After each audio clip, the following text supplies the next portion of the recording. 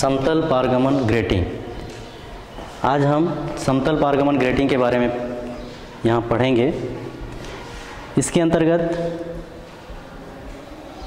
विवर्तन को प्रदर्शित करने वाले कुछ साधारण प्रयोग हैं, उसके बारे में भी देखेंगे। व्यतीकरण और विवर्तन में क्या अंतर होता है, उसके बारे में भी जानेंगे। और यहाँ पर व्यतीकरण और विवर्तन से संबंधित कुछ आंकिक प्रश्न भी हम देखेंगे। तो सबसे पहले अपन जो देखते हैं आज समतल पारगमन ग्रेटिंग क्या होता है।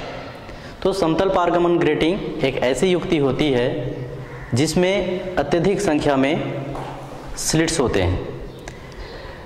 समान दूरियों पर, ये स्लिट समान दूरियों पर और समान चौड़ाई के होते हैं। और इसमें जो स्लिट जो होता है, वो पारदर्शी होता है।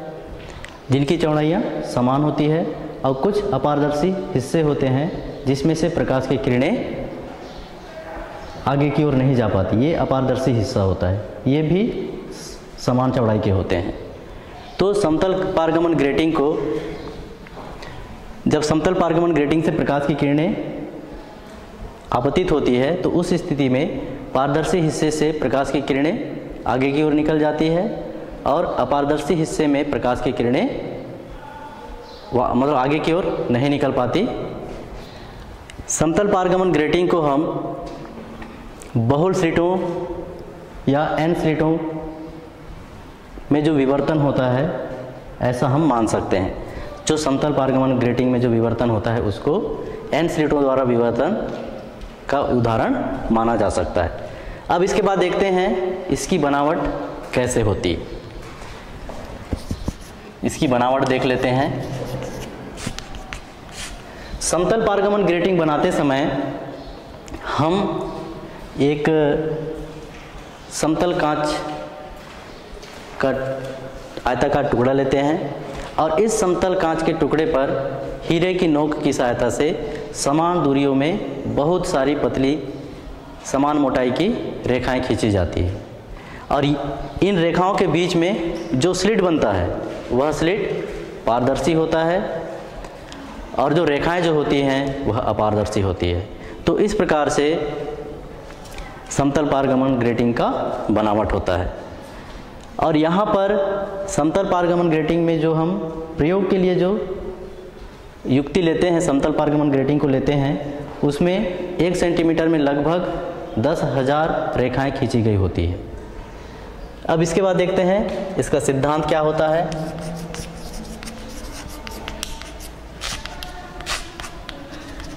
समतल पारगमन ग्रेटिंग का सिद्धांत बहुल स्लिटों पर आधारित है।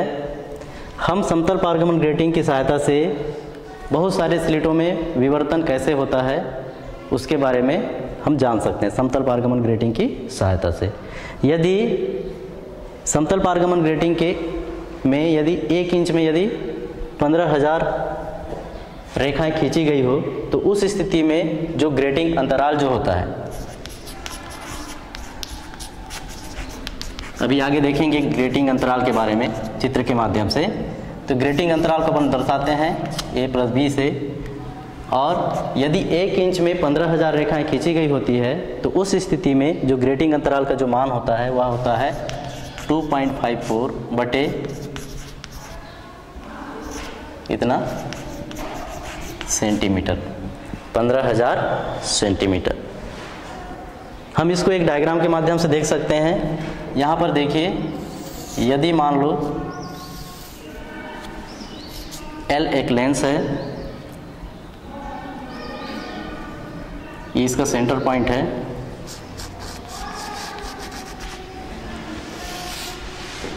और X Y पर्दा है तो उस स्थिति में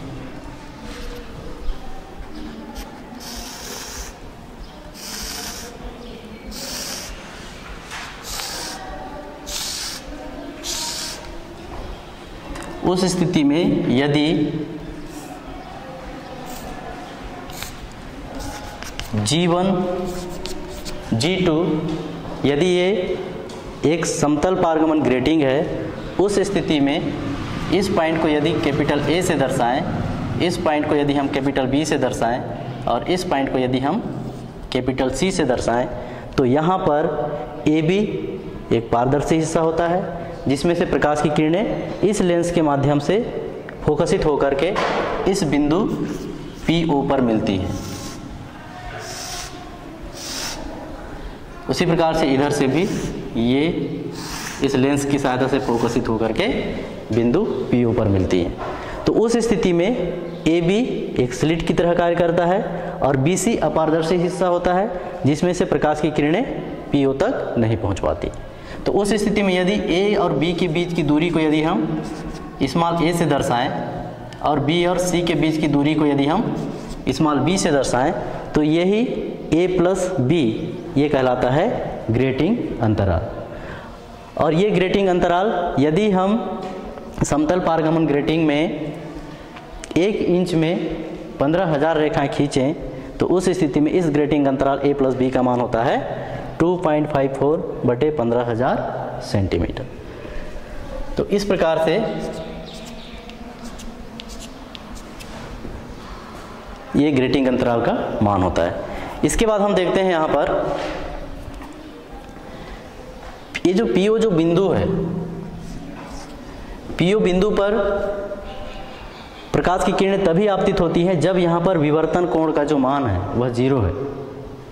मतलब यहाँ पर सीधी सीधी प्रकाश की किरणें लेंस के द्वारा फोकसित होकर के पीओ पर मिल रही है। तो इस स्थिति में पीओ पर प्रकाश की तीव्रता मैक्सिमम होती है और यहाँ पर हमको केंद्रीय प्रधान उच्चिष्ट प्राप्त होता है। बिंदु पीओ पर केंद्रीय प्रधान उच्चिष्ट प्राप्त होता है, जिसमें प्रकाश की तीव्रता मैक्सिमम होती है। अब यदि थीटा अप थीटा विवर्तन कोण से इस स्लिट से प्रकाश की किरणें लेंस के द्वारा यदि इस पर्दे पर फोकसित होती हैं तो उस स्थिति में वे सारी किरणें पीओ पर फोकसित नहीं होकर के एक अन्य बिंदु पर फोकसित होती हैं। तो उसके लिए देखते हैं।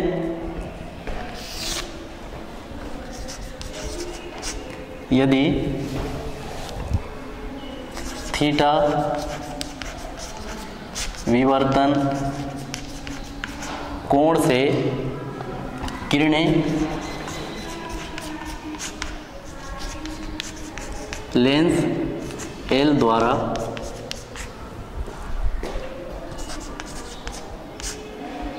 पर्दे एक्स वाई पर।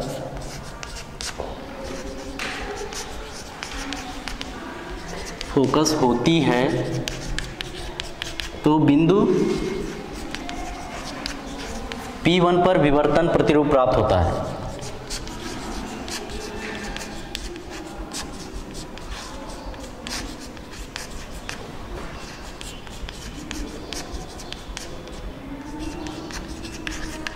और इस स्थिति में जो पथांतर जो होता है, इस स्थिति में पथांतर पथांतर को हम, इसके लिए हम एक दूसरा डायग्राम बनाते हैं यहाँ पर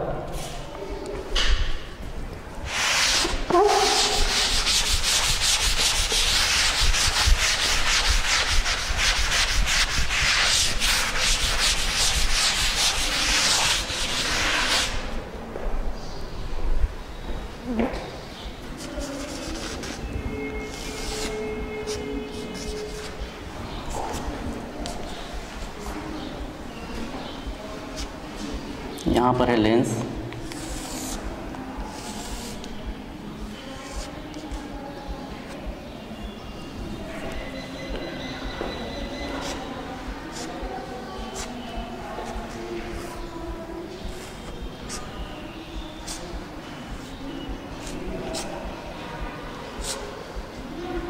यदि थीटा कोण से इस लेंस पर आपतित होती है, इस प्रकार से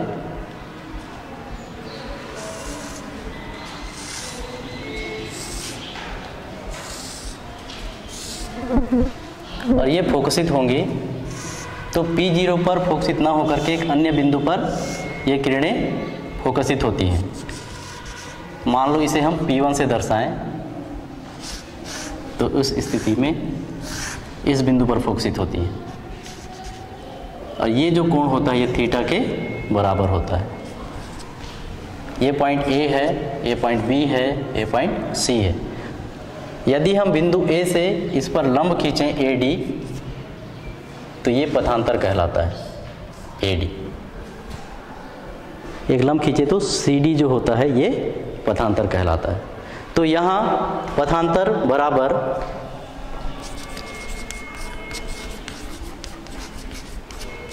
होता है ग्रेटिंग अंतराल A plus B into sine theta यहाँ पथांतर का मान होता है A plus B into sine theta के बराबर। अब यहाँ पर हम द्वितीय उच्चिष्ट और निम्निष्टों की स्थितियाँ देखते हैं। यहाँ पर केवल हम सूत्र ही देखेंगे, इसकी स्थापना नहीं देखेंगे।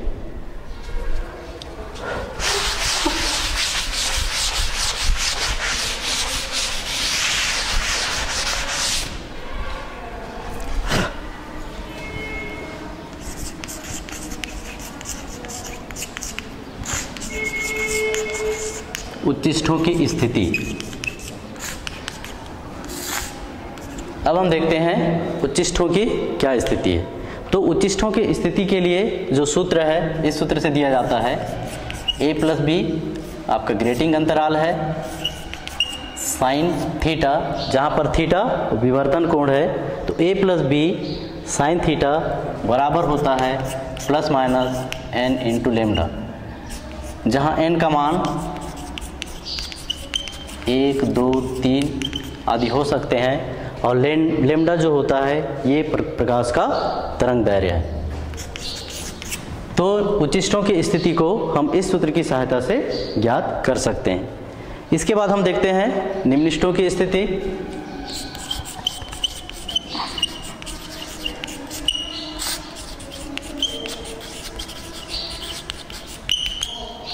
निम्निष्ठों की स्थिति। निम्निष्ठों की स्थिति को हम इस सूत्र से डिनोट करते हैं। यहाँ पर होता है a plus B sine theta जहाँ पर a प्लस बी ग्रेटिंग अंतराल है। थीटा विवर्तन कोण है। ये बराबर होता है स्मॉल m बटे कैपिटल N इंटू लेमडा के बराबर। ये होता है प्लस माइनस स्मॉल m बटे n इंटू लेमडा इसको दे देते हैं अपन इक्वेशन नंबर तीसरा। यहाँ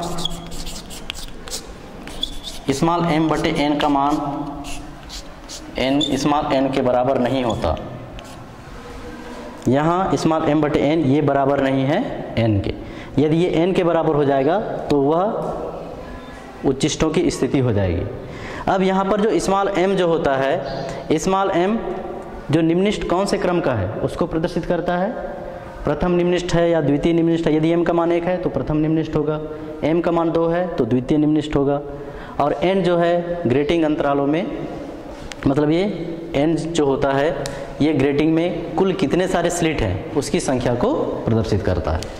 तो निम्निष्ठों की स्थिति को हम इस सूत्र के द्वारा प्रदर्शित कर सकते हैं। ये फार्मूला है A plus B sine theta is equal to plus minus small m बटे कैपिटल N इंटू लेमडा। यहाँ ए प्लस बी ग्रेटिंग अंतराल है, थीटा विवर्तन कोण है, स्मॉल एम निम्निष्ठ का क्रम है, और कैपिटल एन ये ग्रेटिंग में मतलब समतल जो पारगमन ग्रेटिंग है, उसमें कुल कितने स्लिट हैं, उसकी संख्या है, और लेमडा प्रकाश का तरंग दैर्य तो इन सूत्रों की सहायता से हम उच्चिष्ठों की स्थिति और निम्निष्ठों की स्थिति समतल पारगमन ग्रेटिंग में हम ज्ञात कर सकते हैं। इसके बाद हम देखते हैं, अगला टॉपिक है हमारा विवर्तन को प्रदर्शित करने वाले कुछ साधारण प्रयोग।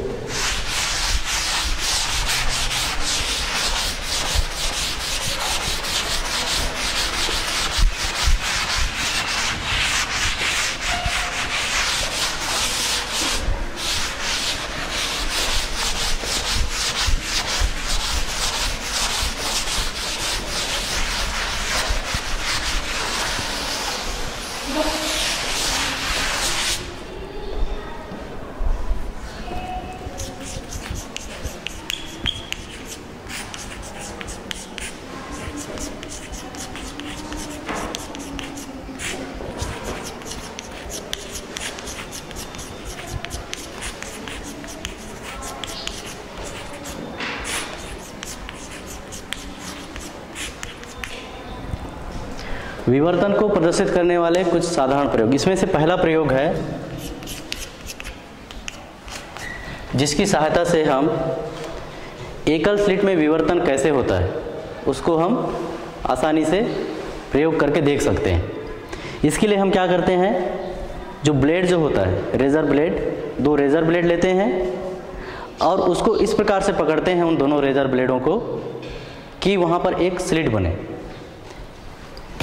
जैसे रेजर रेजर ब्लेड जो होता है, दो रेजर ब्लेड इधर मान लो एक रेजर ब्लेड ऐसा है इधर का ब्लेड ऐसा है। इसको इस प्रकार से पकड़ें कि दोनों के बीच में एक स्लिट बने। और इसकी दूसरी ओर, यदि कोई प्रकाश स्रोत हो, उस प्रकाश स्रोत को हम देखते हैं। और इसके बीच की जो दूरी है, उसको क्रमशः कम करते जाते हैं। तो एक स्थिति ऐसे होती है कि हमें प्रकाश की जो किरणें हैं वो रंगीन दिखाई देना होती मतलब रंगीन दिखाई देना, दिखाई देता है। जब दोनों ब्लेडों को हम इस प्रकार से पकड़ते हैं कि दोनों ब्लेडों के बीच एक स्लिट बने और दूसरी ओर प्रकाश स्रोत हो, उस प्रकाश स्रोत को हम देखते हैं और साथ ही साथ देखते हुए ये जो स्लिट की जो दूरी है, उसको क्रमशः कम करते जाते हैं। तो एक स्थिति ऐसा होता है कि हमें जो प्रकाश की जो किरणें हैं, वो रंगीन दिखाई देती हैं, दूसरी ओर की किरणें, जो कि हमें विवर्तन की घटना को बताती है। तो ये इसका पहला प्रयोग था।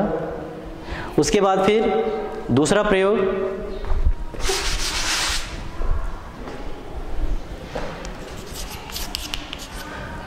दूसरे प्रयोग में यदि दूर से कोई प्रकाश की किरण आ रही है, उसके सामने यदि हम कोई वृत्तीय अवरोध रख देते हैं, वृत्ताकार अवरोध रख देते हैं, दूर से प्रकाश किरणें आ रही है उसके सामने एक वृत्ताकार अवरोध रख देते हैं।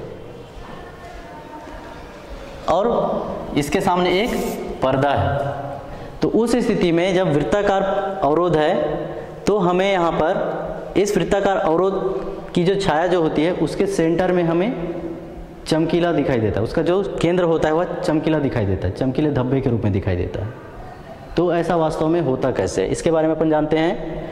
जब दूर से कोई प्रकाश किरणें के सामने कोई वृत्तीय अवरोध आ जाता है तो उस स्थिति में ये जो प्रकाश की किरणें हैं, इसके बाहरी हिस्से से, सभी प्रकाश की किरणें इसके बाहरी हिस्से से विवर्तित हो जाती है। और ये जितने भी विवर्तित जो किरणें हैं, वे संपोषी व्यतीकरण करती है। तो संपोषी व्यतीकरण के कारण जो यहाँ पर इसका जो सेंटर जो होता है, ये चमकीला दिखाई देता है। तो इसका रीज़न क्या लिखोगे? क्वेश्चन इसको इस प्रकार से पूछता है यदि दूर से आने वाले प्रकाश के मार्ग में यदि वृत्ति अवरोध रख दिया जाए तो उस वृत्ति अवरोध की जो ज्यामिति छाया होती है, उसका केंद्र चमकीला दिखाई देता है। ऐसा क्यों? इस प्रकार का प्रश्न पूछा जाता है। तो आपको उत्तर देना होगा, जब दूर से आने वाली प्रकाश किरणें वृत्ति अवरोध पर पड़ती हैं तो वृत्ति अवरोध के बाहरी ओर उस प्रकाश की किरणों का विवर्तन हो जाता है।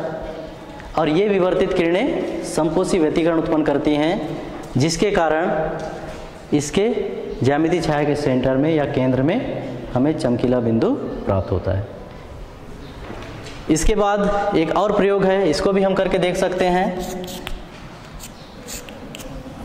यदि हम रुमाल को फैलाएँ और फैला करके दूसरी ओर किसी प्रकाश स्रोत को देखें तो उस स्थिति में जो रुमाल जो बना होता है, उसके बीच में छोटे छोटे छिद्र होते हैं। तो उसकी सहायता से भी प्रकाश की किरणें विवर्तित होती हैं। तो उसकी सहायता से भी हम विवर्तन की घटना को देख सकते हैं। तो ये विवर्तन को प्रदर्शित करने वाले कुछ साधारण प्रयोग हैं।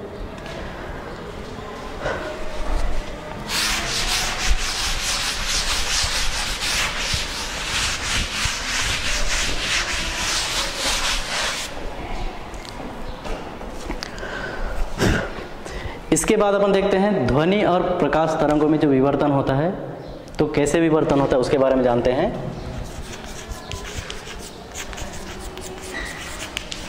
ध्वनि और प्रकाश तरंगों में विवर्तन। इसकी एक तुलनात्मक विवेचना करते हैं हम, ध्वनि और प्रकाश तरंगों में विवर्तन कैसा होता है।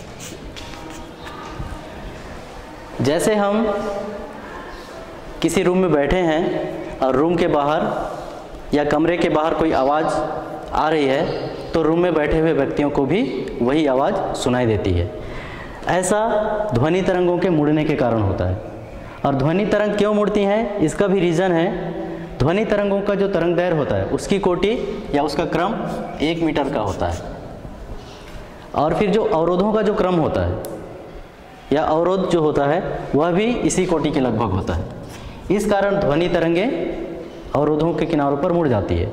इस वजह से बाहर की आवाज़ कमरे में बैठे हुए व्यक्तियों को सुनाई देती है। लेकिन प्रकाश की किरणें हमेशा सरल रेखा में गमन करती है। प्रकाश की किरणें कभी भी मतलब एक निश्चित स्थितियों में ही उनमें विवर्तन होता है। कभी भी वे विवर्तित नहीं होती। उसका रीज़न है प्रकाश की किरणों का जो तरंग दैर्घ्य जो होता है, वह बहुत कम कोटि का होता है। और जो अवरोध जो होता है, वह बहुत अधिक कोटि का होता है। या उसकी कोटि बहुत अधिक होती है, जिसके कारण सामान्यतः प्रकाश तरंगों में विवर्तन की घटना नहीं होती। विवर्तन की घटना केवल तभी होती है, जब अवरोध या छिद्र का जो क्रम है, वह तरंग दैर्घ्य की कोटि का होता है। उसी स्थिति में प्रकाश की तरंगों में विवर्तन की घटना होती है। और ध्वनि तरंगों में विवर्तन की घटना क्यों होती है? क्योंकि ध्वनि तरंगों का जो तरंग दैर्घ्य है वह और अवरोधों का जो तरंग दैर्घ्य उस एक समान कोटि के होते हैं। इस वजह से ध्वनि तरंगों का विवर्तन होता है। और प्रकाश तरंगों में विवर्तन की घटना कब होगी? जब अवरोधों या फिर जो छिद्र है, जिसमें से प्रकाश की तरंगें आपतित होती है, उसका जो कोटि जो है, वह प्रकाश तरंग दैर्घ्य की कोटि का हो। तभी प्रकाश की तरंगों में विवर्तन की घटना होती है। अन्यथा उसमें विवर्तन की घटना नहीं होती। इसके बाद देखते हैं, व्यतिकरण और विवर्तन में अंतर। अब तक हम लोगों ने प्रकाश का व्यतिकरण और प्रकाश के विवर्तन के बारे में पढ़ा है। अब हम देखते हैं प्रकाश के व्यतिकरण और विवर्तन में क्या अंतर है।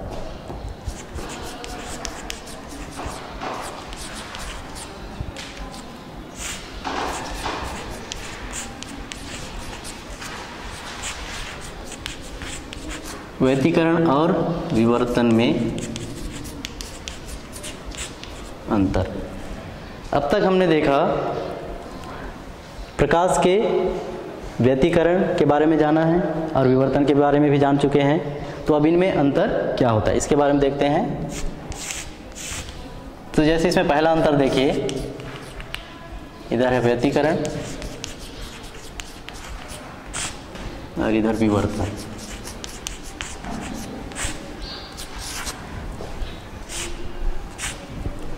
व्यतिकरण कब होता है? जब दो समान आवृत्ति और लगभग समान आयाम की तरंगे एक ही दिशा में गमन करती है तो उनका अध्यारोपण होता है, जिसके कारण प्रकाश का व्यतिकरण होता है। और विवर्तन की घटना कब होती है? एक ही प्रकाश स्रोत होता है और उनमें जो तरंगाग्र होती है, उसका प्रत्येक बिंदु तरंग स्रोत की तरह कार्य करती है, और उन तरंग स्रोतों से जो द्वितीयक तरंगिकाएँ निकलती हैं उन द्वितीयक तरंगिकाओं का अध्यारोपण होता है और वहाँ विवर्तन के कारण व्यतिकरण के कारण वहाँ पर विवर्तन की घटना होती है।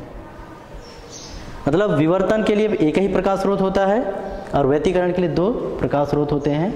और ये दोनों प्रकाश स्रोत लगभग समान आवृत्ति मतलब समान आवृत्ति और लगभग समान आयाम के होते हैं। उनका अध्यारोपण होता है, जिसके कारण विवर्तन की घटना होती है। व्यतिकरण में एक ही प्रकाश स्रोत में जो तरंगाग्र होता है, उसमें से द्वितीयक तरंगिकाएँ निकलती है, जिसमें उनके द्वितीयक तरंगिकाओं के अध्यारोपण के कारण वहाँ पर विवर्तन की घटना होती है।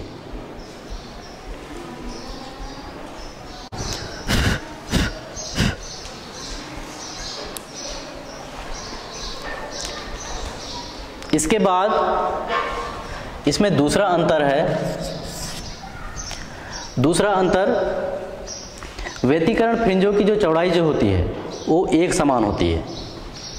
व्यतीकरण जो फ्रिंजों की चौड़ाई जो होती है, वो हमेशा एक समान होती है। जबकि विवर्तन जो फ्रिंजे जो होती है, वो कभी भी समान नहीं हो सकती। व्यतीकरण फ्रिंजे समान होती है, विवर्तन फ्रिंजेस समान नहीं होती। है इसके बाद फिर इसमें तीसरा अंतर है, सभी जो दीप्त फ्रिंजें जो होती हैं, सभी जो दीप्त फ्रिंजें जो होती है, उनकी तीव्रता एक समान होती है। और विवर्तन में भी केवल केंद्रीय उच्चिष्ट की जो तीव्रता जो होती है, वह अधिकतम होती है, क्योंकि विवर्तन में एक केंद्रीय उच्चिष्ट होता है और बाकी द्वितीयक उच्चिष्ट कहलाते हैं। तो जो केंद्रीय उच्चिष्ट होता है, उसकी तीव्रता मैक्सिमम होती है और जो द्वितीय उच्चिष्टों की जो तीव्रता है, वह क्रमशः कम होते जाती है, विवर्तन की घटना में। उसके बाद फिर व्यतीकरण में जो अदीप्त फ्रिंजें बनती हैं, इसमें चौथा अंतर है, व्यतीकरण में जो अदीप्त फ्रिंजें जो बनती है, उसकी तीव्रता शून्य होती है और जबकि विवर्तन में जो अदीप्त फ्रिंजें जो बनती है उसकी तीव्रता कभी भी शून्य नहीं होती। है मतलब एकदम से वो ज़ीरो के बराबर नहीं होता। जब विवर्तन में अदीप्त फ्रिंजें बनती हैं, उनकी जो तीव्रताएँ तो इस प्रकार से ये चार अंतर हैं। पहला अंतर परिभाषा से संबंधित है। दूसरा अंतर व्यतीकरण जो फ्रिंज हैं, उसकी चौड़ाई से संबंधित है। तीसरा अंतर दीप्त फ्रिंज कैसे बनते हैं, उससे संबंधित है। और जो चौथा अंतर है, ये अदीप्त फ्रिंज के बारे में है। तो इस प्रकार से ये व्यतीकरण और विवर्तन में अंतर है।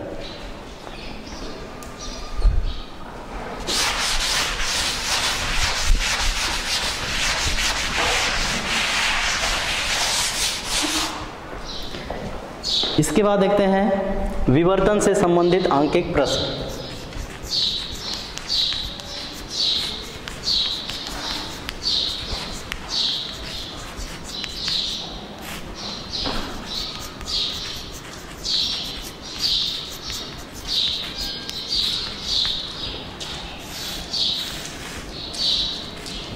विवर्तन से संबंधित आंकिक प्रश्न। इसमें से हमारा पहला प्रश्न है,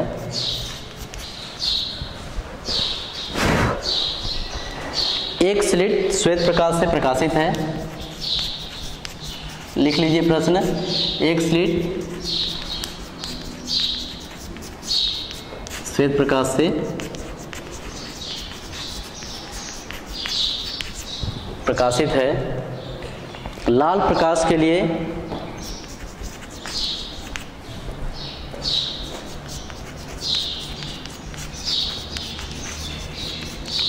के लिए तरंग दैर्घ्य 6500 एंगस्ट्राम है। इसके लिए प्रथम निम्निष्ठ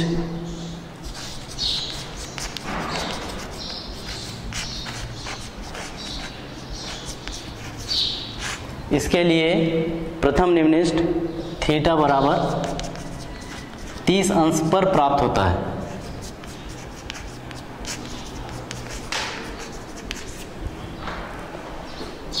स्लिट की चौड़ाई ज्ञात करना है।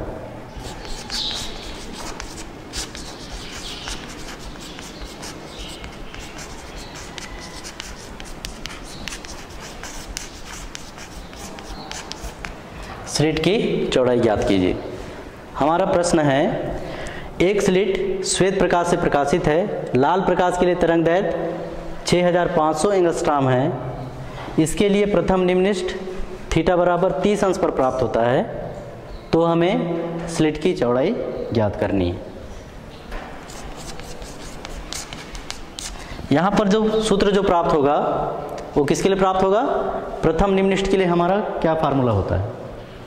प्रथम निम्निष्ठ के लिए जो पथांतर जो होता है, वो होता है डी साइन थीटा बराबर लेमडा तो यहाँ पर जो सूत्र होगा, वो सूत्र होगा प्रथम निम्निष्ठ के लिए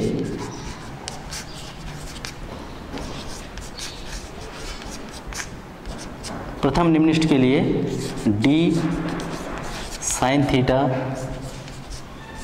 बराबर लेमडा होता है यहाँ पर डी स्लिट की चौड़ाई है। थीटा विवर्तन कोण है और लेमडा तरंग दैर्घ्य है। तो यहाँ पर अब दिया है दिया है लेमडा बराबर दिया है। लेमडा लाल प्रकाश के लिए कितना दिया है? पैंसठ हज़ार एंगस्ट्राम। एंगस्ट्राम किसको कहते हैं? एक एंगस्ट्राम बराबर कितना होता है? एक एंगस्ट्राम बराबर होता है 10 की घात माइनस दस मीटर। इस एंगस्ट्राम को हम मीटर में बदलेंगे। तो मीटर में बदलते हैं तो ये हमको प्राप्त होता है 6500 गुणित। एंगस्ट्राम का मतलब होता है 10 की घात माइनस दस मीटर। तो लेमडा बराबर मिल गया हमको 6500 गुणित 10 की घात माइनस दस मीटर। और थीटा बराबर दिया है तीस अंक। अतः साइन तीस अंश का मान कितना हो जाएगा? साइन थीटा बराबर साइन तीस अंश और साइन तीस अंश का मान होता है one upon two. One upon two मतलब ज़ीरो पॉइंट फाइव। अब इन मानों को हम सूत्र में रखते हैं।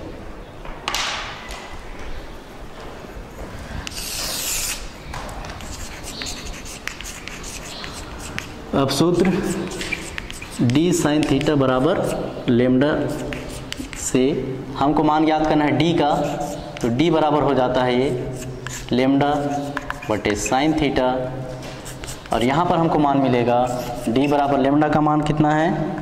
छः हज़ार पाँच सौ गुणित दस की घात माइनस दस बटे साइन थीटा का मान है ज़ीरो पॉइंट फाइव। या इसी को हम आगे हल कर सकते हैं।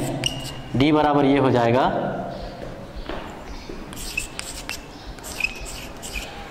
बटे पाँच दशमलव हटा देते हैं तो आसानी से हल हो जाता है। अब इसके बाद डिवाइड कर देते हैं। d बराबर मिलेगा, पाँच से डिवाइड करो। पाँच एकम पाँच पाँच दिया पंद्रह और ये तीन ज़ीरो गुणित दस की घात माइनस दस। अब यहाँ पर देखिए, ये इतना मीटर है। अब यहाँ पर देखिए, इस संख्या के सबसे अंत में दशमलव होता है और दशमलव जब भी बाई ओर प्रतिस्थापित होता है तो उस स्थिति में उसे हम 10 के घात के धनात्मक घात के रूप में लिखते हैं। जब भी दशमलव बाई ओर प्रतिस्थापित होता है तो उस स्थिति में हम जितना स्थान दशमलव प्रतिस्थापित होता है, उतना 10 के ऊपर घात लगा करके यहाँ गुणा करते हैं।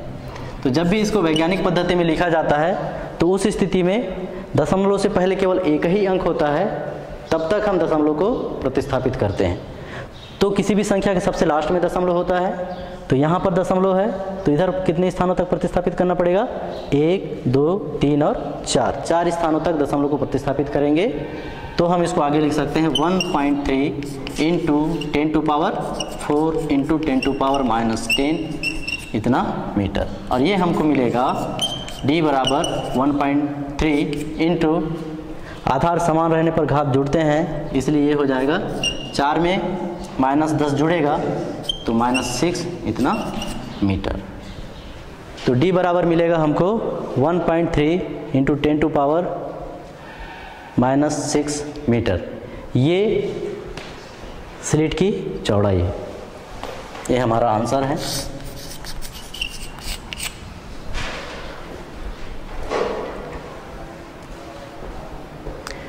इसके बाद एक और प्रश्न है इसी से संबंधित।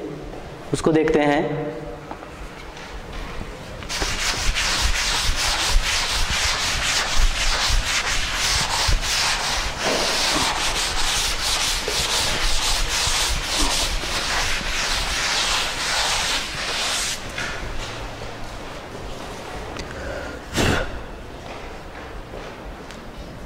दूसरा प्रश्न एक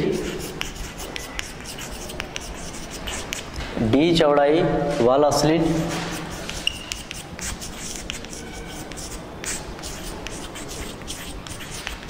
छः हज़ार पाँच सौ एंगस्ट्राम।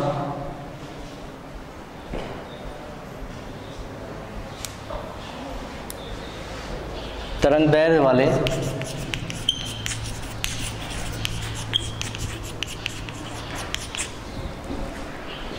प्रकाश से प्रकाशित है।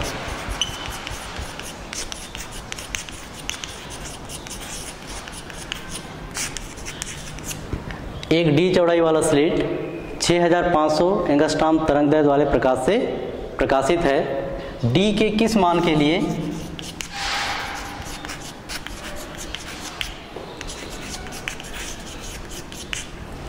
डी के किस मान के लिए? प्रथम उच्चिष्ट 30 अंश के विवर्तन कोण पर बनता है।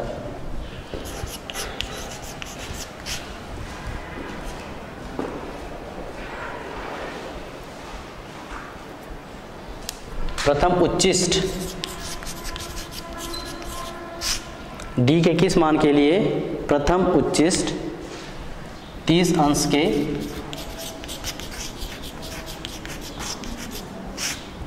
विवर्तन कोण पर बनता है?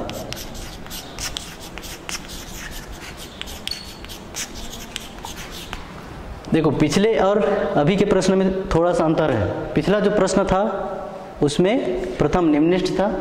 यहाँ पर है प्रथम उच्चिष्ट।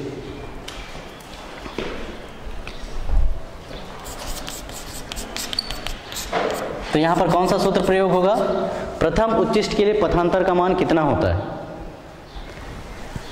एकल स्लिट में विवर्तन में हमने देखा था, प्रथम उच्चिष्ट के लिए जो पथांतर डी साइन थीटा का जो मान जो होता है, वो थ्री लेमडा बटे टू के बराबर होता है। उस सूत्र का यहाँ पर प्रयोग होगा।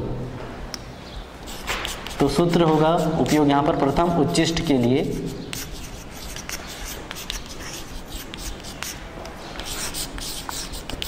डी साइन थीटा बराबर होता है थ्री लेमडा बटे टू इस सूत्र का प्रयोग होगा। यहाँ दिया है लेमडा बराबर 6500 एंगस्ट्राम। ये बराबर होगा 6500 हज़ार गुड़ी 10 की घात माइनस दस एंगस सॉरी इतना मीटर और थीटा बराबर मिलेगा। यहाँ पर दिया है 30 अंश, अतः साइन थीटा बराबर मिल जाएगा। साइन तीस अंश बराबर शून्य दशमलव पाँच। इसके बाद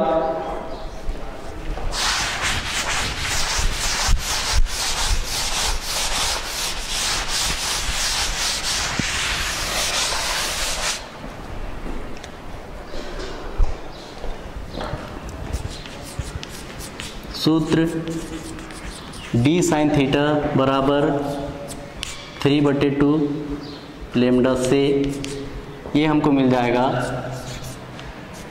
डी बराबर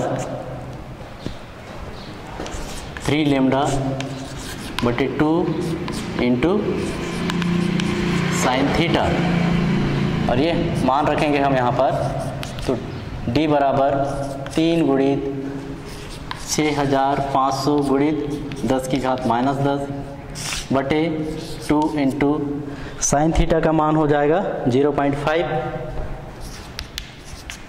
तो ये हमको प्राप्त हो जाएगा point five into two one. तो ये मिल जाएगा हमको डी बराबर। ऊपर में गुणा कर देते हैं यहाँ पर। तीन शून्यम शून्य, तीन शून्यम शून्य छः तिया अट्ठारह और एक उन्नीस। उन्नीस हज़ार पाँच सौ। गुणित दस की घात माइनस दस इतना मीटर। या इसी को अपन वैज्ञानिक पद्धति में लिखें तो वैज्ञानिक पद्धति में क्या होता है? दशमलव से पहले केवल एक ही अंक होना चाहिए। तो यहाँ पर दशमलव से पहले एक, दो, तीन, चार, पाँच अंक है, इसलिए हम इसको दशमलव को बाई और प्रतिस्थापित करेंगे। तो ये हमको मिलेगा d बराबर 1.95 point nine five into ten to power एक, दो, तीन, चार। चार स्थान प्रतिस्थापित किए हैं तो चार। गुणित दस की घात माइनस दस मीटर। और यहाँ से हमको मिल जाएगा d बराबर 1.95 point nine five into ten to power minus six. इतना मीटर। ये हमारा आंसर।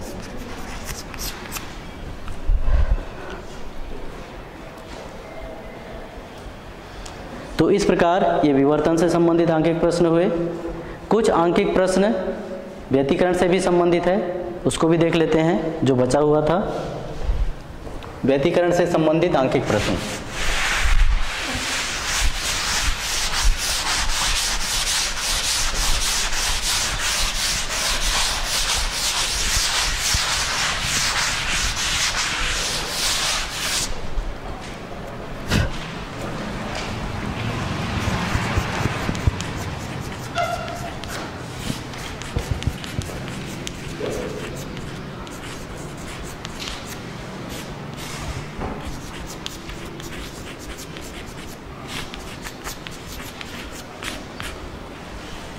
व्यतीकरण से संबंधित आंकिक प्रश्न। प्रश्न लिखिए यहाँ पर।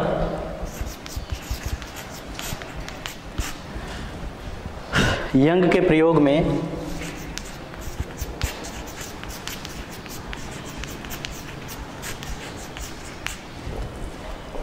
दो स्लेटों के बीच की दूरी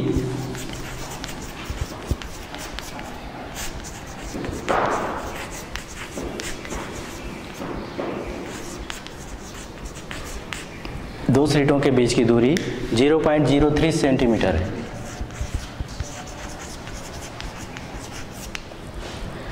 दो स्लेटों के बीच की दूरी शून्य दशमलव शून्य तीन सेंटीमीटर है तथा एक दशमलव पाँच मीटर दूर रखे पर्दे पर, रखे पर्दे पर चौथी दीप्त फ्रिंज।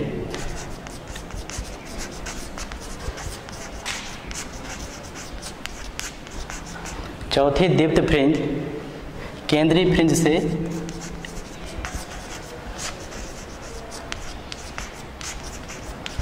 केंद्रीय फ्रिंज से एक सेंटीमीटर दूर है।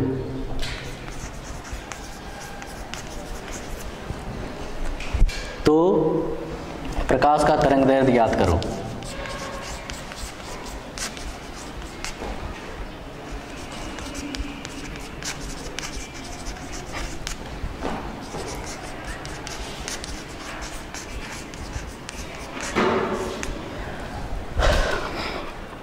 हमारा प्रश्न है, यंग के प्रयोग में दो स्लिटों के बीच की दूरी शून्य दशमलव शून्य तीन सेंटीमीटर है तथा एक दशमलव पाँच मीटर दूर रखे पर्दे पर चौथी दीप्त फ्रिंज, केंद्रीय फ्रिंज से एक सेंटीमीटर दूर है।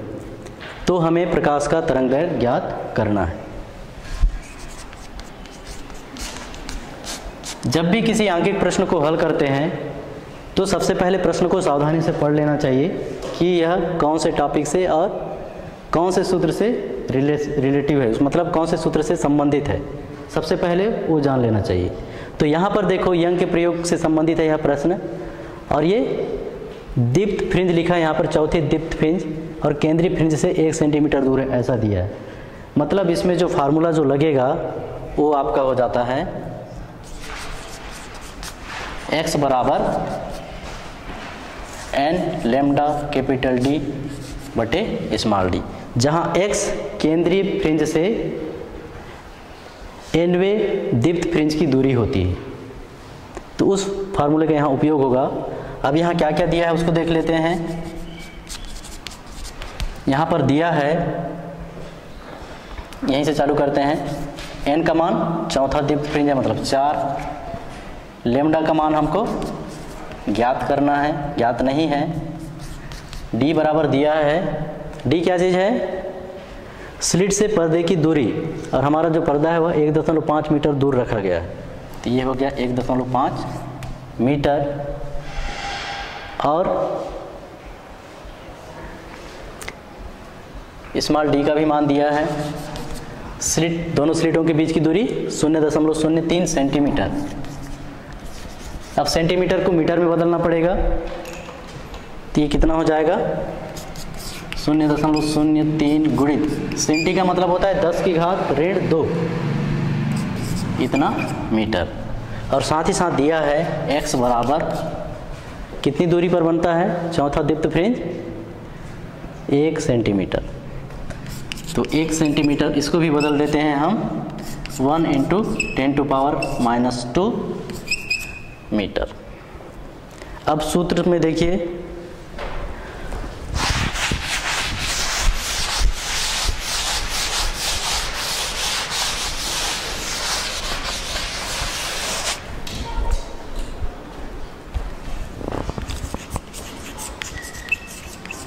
अब सूत्र, x बराबर N into lambda capital D बटे स्मॉल डी से। यहाँ से हमको लेमडा बराबर मिल जाएगा। X इंटू स्मॉल डी पूरे का बटे एन इंटू कैपिटल डी मान रखने पर लेमडा बराबर मिल जाएगा एक्स का मान है आपका one into ten to power minus two into D का मान है स्मॉल डी का मान zero point zero three into ten to power minus two N का मान है फोर इंटू डी का मान है वन पॉइंट फाइव। अब इसको हम लिख सकते हैं लेमडा बराबर शून्य दशमलव शून्य तीन गुणित दस की घात ऋण दो और ऋण दो ऋण चार बटे इन दोनों को गुणा कर देते हैं, ये हो जाता है सिक्स पॉइंट ज़ीरो और यहाँ इसी को हम आगे हल करेंगे। तो दशमलव हटा देते हैं। तो ये हो जाएगा तीन बटे छः सौ गणित दस की घात माइनस चार। या इसी को हम आगे लिख सकते हैं। लेमडा बराबर 600 से तीन को भाग देते हैं। तो ये मिलेगा दशमलव एक, दशमलव लगा एक ज़ीरो, फिर भाग नहीं गया। फिर एक ज़ीरो बढ़ा, फिर भी भाग नहीं गया। अब फिर आएगा छः पंचे तीस into ten to power minus four इतना इतना क्या होगा लेमडा इतना मीटर अब यहाँ पर देखो, दशमलव को किधर प्रतिस्थापित करना पड़ेगा? दशमलव से पहले एक अंक होना चाहिए। तो दशमलव को हम दाई ओर विस्थापित करेंगे। कितने स्थान? एक, दो और तीन स्थान। तो जब दाई ओर दशमलव हटता है तो उस स्थिति में दस के ऊपर ऋणात्मक घात लगता है। उस स्थिति में दस के ऊपर ऋणात्मक घात लगेगा। तो ये कितना हो जाएगा? या इसको ऐसा कर दें? केवल दो ही स्थापन, दो ही स्थान विस्थापित करें तो ये मिल जाता है 0.5 point five into ten to power minus two into ten to power minus four metre या इसी को हम आगे लिख सकते हैं, लेमडा बराबर दशमलव पाँच गुड़ी दस की घात माइनस छः मीटर। और माइनस छः का मतलब होता है माइक्रो। या ये हमको प्राप्त हो जाएगा।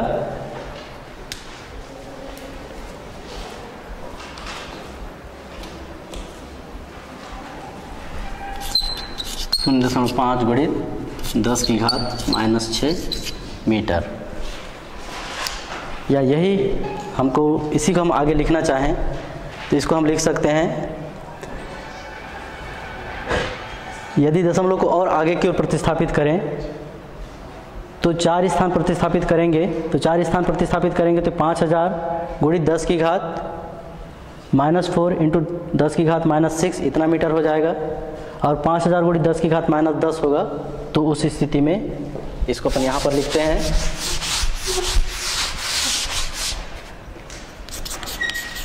लेमडा बराबर इसी को हम आगे लिख सकते हैं। पाँच हज़ार दशमलव चार स्थान बाई, दाई ओर प्रतिस्थापित हुआ है। इतना मीटर या यहाँ पे हमको मिल जाएगा लेमडा बराबर पाँच हज़ार गुड़ी दस की घात माइनस दस मीटर। या इसी को हम लिख सकते हैं लेमडा बराबर पाँच हज़ार। इतना को कहते हैं हम? एंगस्ट्राम। तो ये पाँच हज़ार एंगस्ट्राम। ये प्रकाश का तरंग दैर्घ्य है। लेमडा बराबर पाँच हज़ार एंगस्ट्रॉन धन्यवाद।